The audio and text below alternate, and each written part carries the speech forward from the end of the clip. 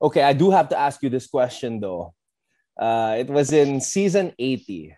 Okay, because you were talking okay. about you were talking about the intensity of trainings. And there was this infamous moment in Lady Spiker's history that happened in season 80.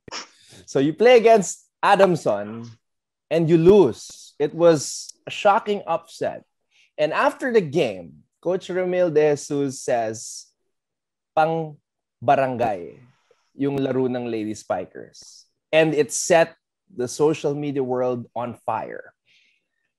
I mean, you were there, Gyra. Did you go back to Taft to practice on that day? yeah, we did. We oh went back God. to training. Uh, okay. Huh. Uh, well, could you recall okay. the events of that day? As in, because uh, I can only imagine what happened right after. Like, siguro on the bus pa lang going back to school. Like, tell us about that day. let me just say it was a very intense day.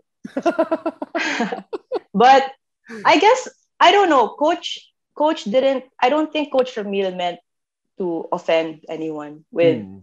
um, pambarangay yung lalo, laro. I think it's just to remind us that we were given this platform, we were given this chance to play for the UAAP. We should show them that um, we're here in the UAAP. Mm. Everyone was having a bad game, I think, that day. And then Adamson, Adamson was having a really good game. So um, when we lost, coach just reminded us that this isn't how you play. Why why are you playing so like you're down? Uh, you this isn't a lady spiker. Like that's what he was telling. I guess that's what he was telling us. That's what he wanted to remind us. So we were so quiet on the way back to Taft. Everyone was so quiet in the bus. Like because uh, we were thinking about, of course, what could have happened in the game, what could we have done differently. And then when we got back to Taft, coach just reminded us on the court what we could do. Na um, he showed us how hard how hard the training was that we should always play a good game and he i guess that was a wake up call for us na na you should you should embrace what you have and then embrace the platform given to you and the chance to play for the UAAP.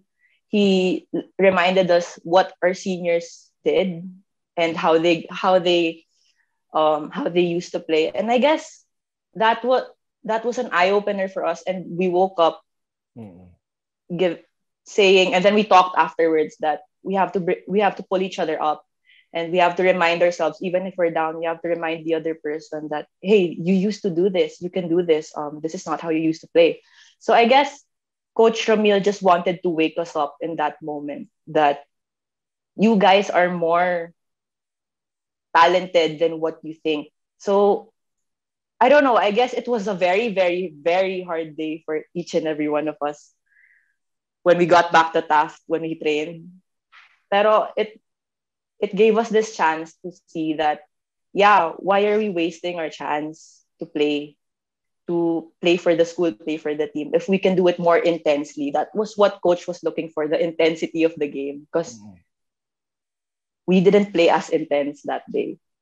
So it was a good wake up call because after that we didn't win we didn't lose another game yeah i think it was 11 straight wins after that if, yeah if i'm not mistaken on the way to a third consecutive championship. Kasi season 80 yun eh, 'di ba? So the the the last repeat that you guys had was season 78 to 80. Yeah. Mm-hmm. So well, you guys a wake up call. Yeah, it, it was it was a good wake up call but yun nga uh, hindi ka naman namatay sa training that, that night. Still alive but barely breathing. it was worse, of course, for that time our captain Ate Joy. Yeah. Syempre, she was the example. So Oh yeah, because like coach the captains are always the first one who's who's gonna suffer the brunt of uh... the captains have it worse than anyone. So I guess it was really hard for Ate Joy. It's also wake it was also a wake up call for our seniors. Na uh-huh. we, they have to lead the team. It's their last playing year. You yeah. know, leave their mark, and they did. Like what an amazing mark they left and for for you guys, diba, when you see your captains going through that, Parang we were crying. Mahi, mahihiya kayo eh, 'di ba? We were we were tearing up na na like we our captain doesn't deserve this. It's her But, last day. What, what, was what was Joy doing? Ano walang katapusang one man ba yan? And then siguro ha Oh my gosh. Pero the time na naiyak ako, naiyak kaming lahat was uh. habang Ate Joy was having a hard time when one man siya ni coach. She yeah. was screaming all our names. Oh. Like, oh, even right now, like thinking about it, it it's such a nostalgic moment na para sa'yo to, coach, para sa'yo to, Gaira, para sa'yo to, Kiana. Like every ball she would touch. Wow. So, that was everyone on the court was crying. Uh, in the court in Razon, we were crying kasi we should do this for our seniors. We should do this for the Lasallian community, for coach. We forgot, siguro yun. We forgot the who we were fighting for. Um, and that woke us up like right now. yeah, just imagining that na I, I, I got goosebumps all over just just just imagining that. Because I've seen I've seen Coach Ramil administer yung one man na yan. I, I, I saw Michelle Gumabao silenced and her shoulders na nakabagsak. Eh, di ba, Michelle is, mm. Michelle is Such Michelle. a strong person. Yeah, I've, I've seen Abby gasp for air because of that one man. So, I mean, I've never seen Joy, but you telling the story, wow, nakakilabot.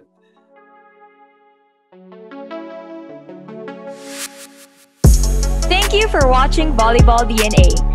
Make sure you hit the subscribe button to get notified for future episodes and interview highlights. And while you're at it, head over to our Facebook page by clicking on the link in the description.